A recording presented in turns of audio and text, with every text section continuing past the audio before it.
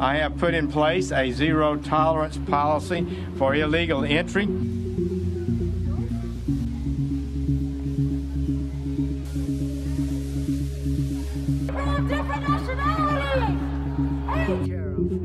quickly, beautifully, and immediately.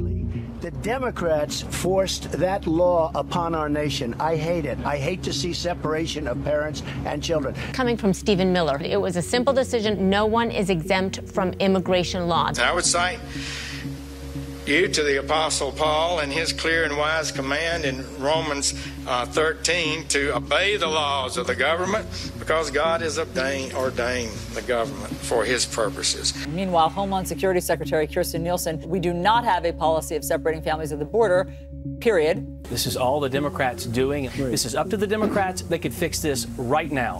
We've got to change our laws. The Democrats have control because we don't have the votes. The Republicans need, we need more Republicans, frankly.